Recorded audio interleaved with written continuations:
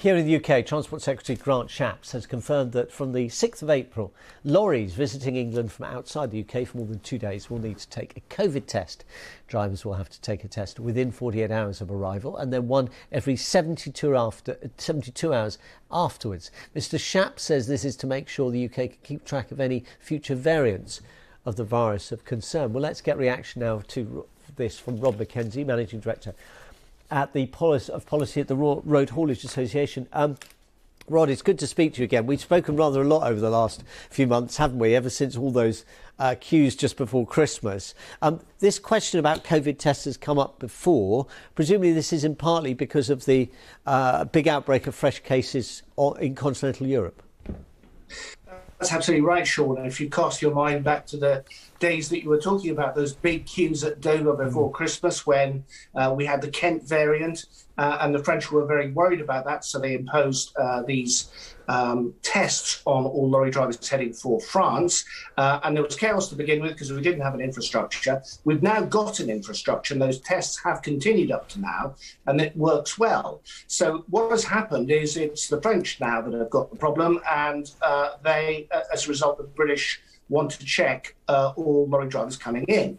Uh, and that we're going to use the same infrastructure that's used the other way around, if you like. So for your average lorry driver who's doing international work, this isn't anything new. Um, he or she was having a test on the outbound journey for the benefit of France. That's now stopped. Instead, they're having a test inbound for the benefit of the UK government. Um, in terms of how the behaviour of lorry drivers has had to change and other haulage staff because of this, can you talk us through a bit? Because presumably they have changed the way they operate anyway, so it's different now if a lorry driver arrives here than, than how it might have been uh, 18 months ago. Yeah, it, it, it, was chaotic at Christmas, and, and certainly 18 months ago, we were used to completely frictionless travel for mm. reasons uh, to do with uh, Brexit. That uh, six letter word we don't, we don't use very much exactly. these days. Um, the, the world has changed in so many ways, uh, but uh, lorry drivers are very adaptable. Haulage is very adaptable, uh, mm. and they've got used to this. Yeah. I mean, it's a pain.